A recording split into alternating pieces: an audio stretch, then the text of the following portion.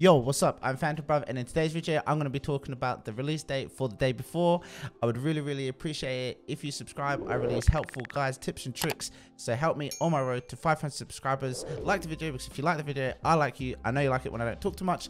Let's get into it. All right, so the first thing I presume everyone wants to know is the release date for the day before, which has now been announced as the 21st of June 2022 by Mytona developers and the gaming studio who are called Fntastic Studio, which is spelled F N T A A F N T A S T I C.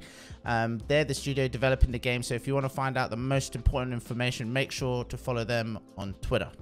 The next thing that we saw in the trailer was an inventory where we could see what kind of items we can use. So it looks quite common to most survival games where we have like an inventory, our gun slots, our lethals and stuff. So we at least got to saw a little bit of a glimpse of that. We also got to see like how the gun attachments are used so you can have like a muzzle or scope so we know that there'll be some sort of weapon attachment system in the day before another cool thing that we saw from the trailer in the premiere was that there are like phones that you can pick up in the open world. Now we don't quite know whether they are actually just things that you pick up or whether if you pick up a phone you can actually use it. I remember like you know playing GTA you could actually bring out your phone and use it to like manipulate the stock market and stuff so it would be really cool if you can actually have a phone and it has some kind of interaction with the game whilst you play it and um, yeah and then of course it's got lootable chests so we don't quite know what the chests have um, but we did see in the trailer that they were opening chests but it didn't have like any loot that comes out of them. I was really hoping to see some sort of like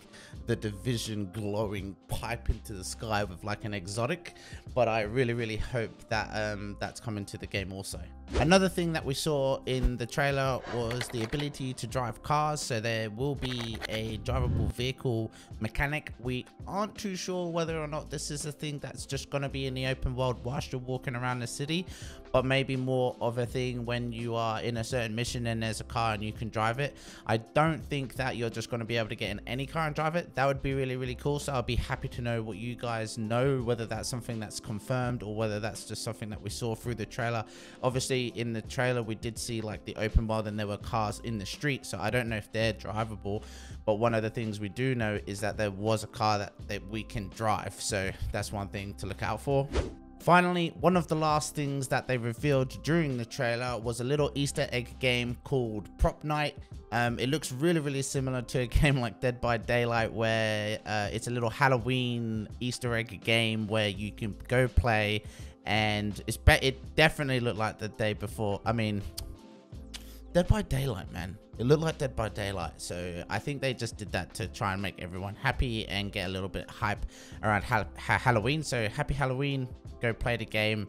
Um, it's like a day before vibe and its take on Dead by Daylight. So if that's what you're into, there you go. Continuing on that, I'd like to know what you think in the comment section down below. Are you happy with the release date being in June? Were you expecting the release date to be a lot sooner? If you enjoyed the video, please subscribe to get more related content. I stream on YouTube now as well, so check my schedule in the description below and follow me on all my socials. Until next time, peace.